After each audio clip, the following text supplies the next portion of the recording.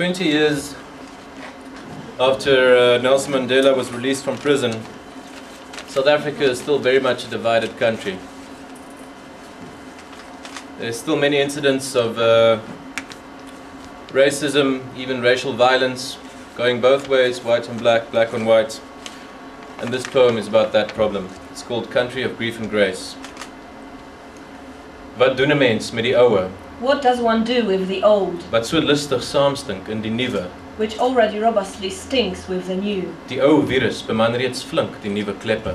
The old virus slyly manning the newly installed valves. Hoe herken 'n mens die oue How does one recognize the old, met sy rasisme en slijm, with its racism and slime, sy onveranderlike besitlike voornaamwoord? its unchanging possessive pronoun? Wat is die verlede tyd van die woord haat? What is the past tense of the word hate? Wat is die simptoom van gebrutaliseerde bloed? What is the symptom of brutalized blood? Van pyn wat nie taal wou word nie, Of pain that did not want to become language? van pyn wat nie taal kon word. Of pain that could not become language? Wat doen 'n mens met die oue? What does one do with the old? Hoe word jy jouself tussen ander? How do you become yourself among others? Hoe word jy heel? How do you become whole? Hoe word jy vrygemaak in begrip? How do you get realized into understanding? Hoe maak jy goed? How do you make good? Hoe maak jy skoon? How do you cut clean?